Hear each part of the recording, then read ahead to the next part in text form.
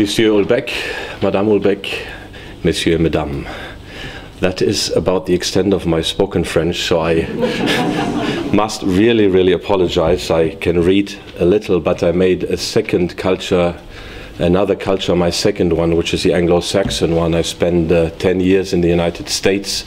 Um, acquiring a PhD and a uh, US citizenship on the way, and that didn't leave much enough time for other ventures. So, my apologies for having this address in English, and um, I called it a personal introduction Michel Houellebecq and Oswald Spengler. I first came across Michel Houellebecq in the mid 2000s. I had just returned from the United States and started my first company and a family. But I still found time to read here and there.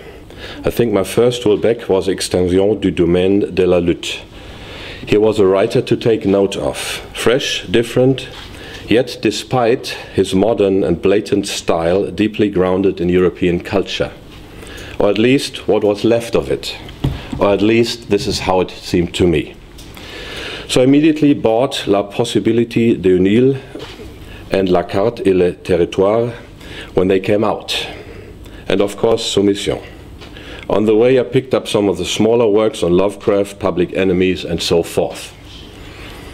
Mm, I still have to read Le Particule Élémentaire, um, but one should have something to, in store to cheer you up on a rainy day. Because actually, reading Houellebecq cheers me up, at least most of the time. If there is a European literature, Michel Houellebecq sets the standard of how it should look today. His work is deeply European, reflecting an age of atomization and decadence, but still giving us glimpses of the rich tradition that has brought us to where we are today. This shattered and confused tradition is leaving us full of doubt, and yet is full of great memories that still have the potential to carry and sustain us to a certain extent. By the way, I define European as almost any Englishman would do. Continental Europe without Great Britain. What is different in continental Europe, European world is a certain self-doubt, a certain decadence, a certain complexity. To the Englishman and to his natural heir, the American, the world is clear and straightforward.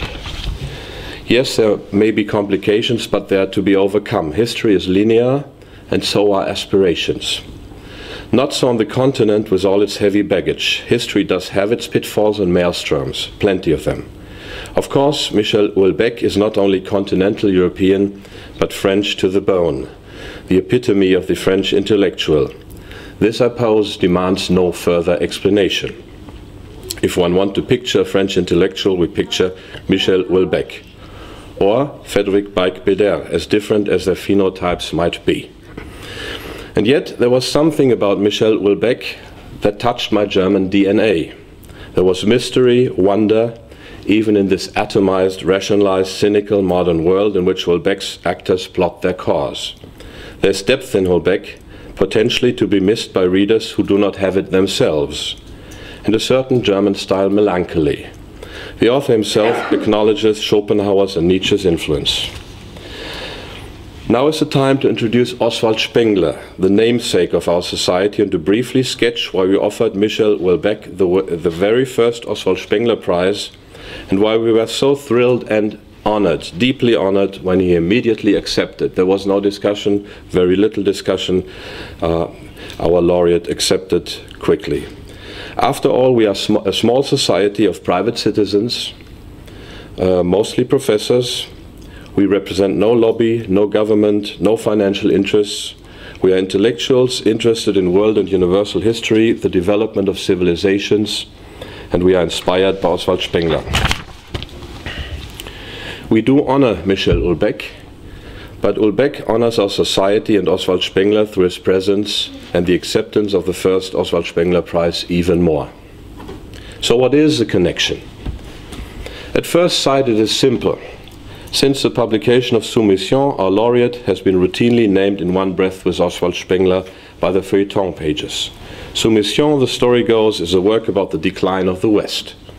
Our laureate has been labeled a cultural pessimist, as has been Oswald Spengler.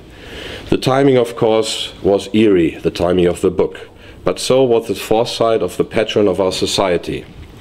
Um, perhaps someday in Russia, the Holy Revolution will break, break out as bloody as once the Red One did, said Spengler. Is it different in the face of the deep excitement of Islam?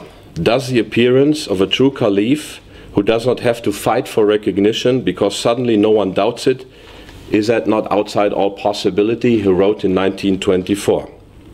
This is the obvious connection.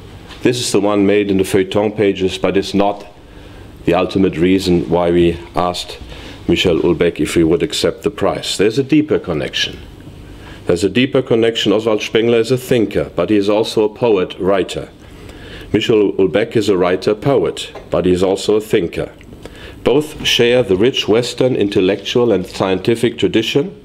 Both know that they stand on the shoulders of that tradition. Both know that the time of the West might be ending, and both boldly go forward in that tradition to keep it alive when and where still possible. Both have spirituality and deepness.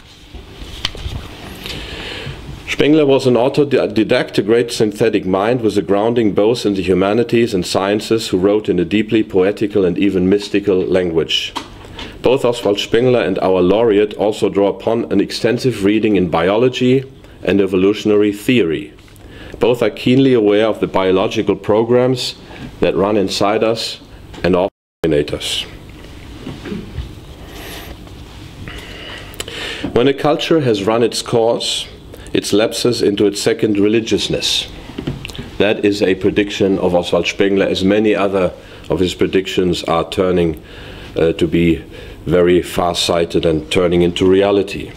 Uh, the uh, mythologist uh, John Campbell, advisor to George Lucas on Star Wars, said, Well, it's been something of a life history journey to see every bit, little, little bit of what Spengler promised turn into reality. So, Spengler also said, When a culture has run its course, it lapses into its second religiousness.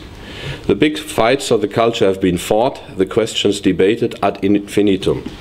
This, according to Spengler, was true in Buddhism, the Roman Empire, and also in Islam which to Spengler is a late phenomenon in what he calls late Magian culture. Indeed, according to Spengler, Islam is 1,000 years ahead of us, of us in cultural development, according to Spengler. Spengler vehemently denied that he was a pessimist, instead arguing that we can only do what is appropriate for our times. We can strive to be good in the crafts demanded of the time, but it would be silly to attempt tasks out of sync with the times. According to Spengler, we live our lives in the winter of our culture. This does not mean that there are no tasks, that there is no culture, but they are specific. Ours is a thoroughly practical age, and art, literature, music, are seen to be as business ventures first or also. Spengler, the West European, however historically he may think and feel, is at a certain stage of life invariably uncertain of his own direction.